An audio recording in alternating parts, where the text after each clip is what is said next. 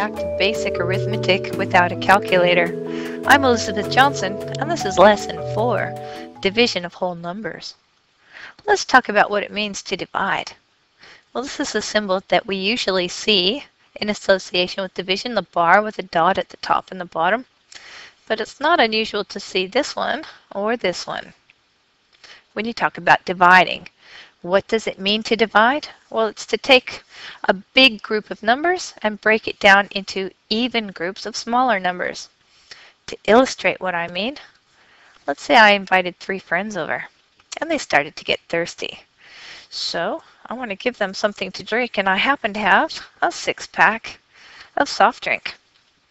Well, I want to make sure that everybody gets enough and that nobody gets left out. So here's how the math looks. I've got six, six cans and I'm dividing it between my three friends. So how much does everyone get? Well, they get two cans each, two for everybody. Except for me, I'm having water. and that's really what division means. All right, so what if we're talking about a bigger problem? Say something like this. 6,735 and you divide it by 3. Well, to begin with, let's talk about what we're going to call these numbers to make it a bit easier. Well, the word dividend is the one that we use for this big number here. And divisor or divisor is the one we use for the smaller number that gets divided into the big number. But the one I'm really interested in today is quotient. Why is that so interesting? Well, for one thing, quotient is the answer to a division problem. Another thing that's interesting about it is we often see this word in tests, and that's about the only time you're going to see it. You'll be asked, what is the quotient of 6,735 and 3? And you won't be told that it's a division question. You'll have to remember that. So now you know. Let's talk about the mechanics of how to solve this problem. Just like all the rest of our arithmetic, we want to rewrite it. But this time we're going to rewrite it quite differently. With all the rest of our arithmetic, we have been writing all of our numbers in columns uh, lined up from right to left. This time it's different. The divisor goes on the left and the dividend goes in the middle of this symbol. The quotient will go on top. Now, let's go ahead and tackle this problem. You've got a 3 and you're going to go into first the 6 then the 7, 3, and 5. This time we go from left to right instead of right to left like every other problem we've done so far.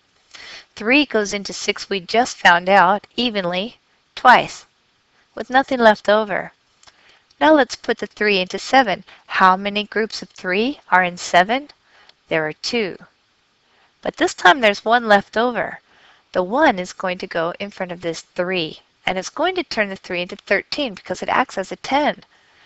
3 goes into 13 how many times?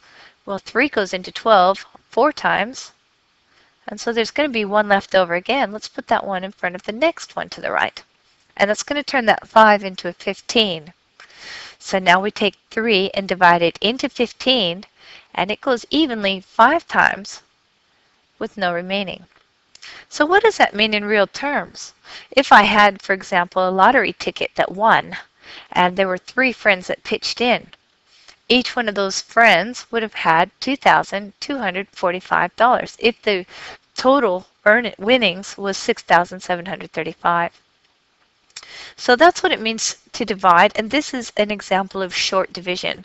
There is another way of dividing, which is called long division, and we're going to talk about that more in our video about fractions and decimals. So be sure to watch out for that.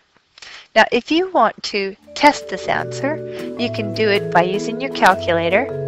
And remember to always take the opportunity to try a division problem like this with paper and pencil, because that way you can really strengthen your skills and become good at division and multiplication. So that's all for this video, and we'll see you next time.